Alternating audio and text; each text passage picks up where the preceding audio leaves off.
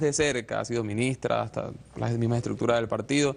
Esa solidaridad que se expresa de los venezolanos, ¿hasta qué punto ayuda al presidente en su estado de ánimo a afrontar toda esta situación? Usted que, bueno, que lo conoce y sabe cómo a lo mejor él puede asumir todo esto.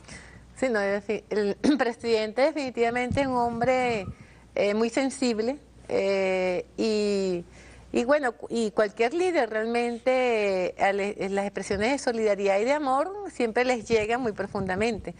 Es más, cuando el presidente siempre ha tenido esa conexión, porque en realidad la conexión entre el presidente y el pueblo venezolano es una, es una conexión extraordinaria y una, una conexión de amor. Realmente, él siempre ha dicho, amor con amor se paga, porque él siente, lo alimenta el amor del pueblo y él devuelve amor.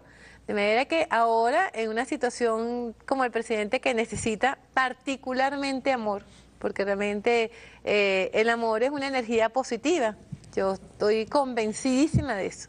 Estoy convencidísima de que el amor, las expresiones de afecto, los Twitter, todo lo que se le pueda mandar al presidente de optimismo y de amor, va a contribuir incluso a que su sistema eh, inmunológicos eh, esté fuerte, esté, eh, eso, eso está absolutamente demostrado. Mm. el presidente tiene que estar con optimismo, con buen humor, echar chistes, reírse.